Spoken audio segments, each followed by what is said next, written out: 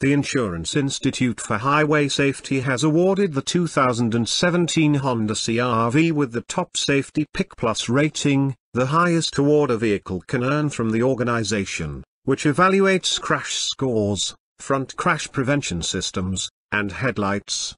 Like the outgoing 2016 model, the 2017 CR-V earned a good score on all crash tests including the difficult small overlap test.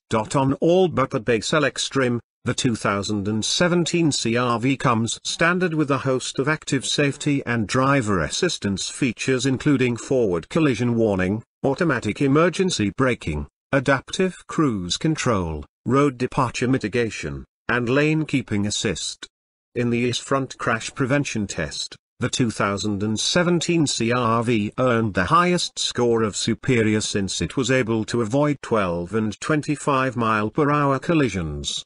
As for the new test that evaluates the effectiveness of a vehicle's headlights, the 2017 CR-V with the optional LED headlights received an acceptable rating.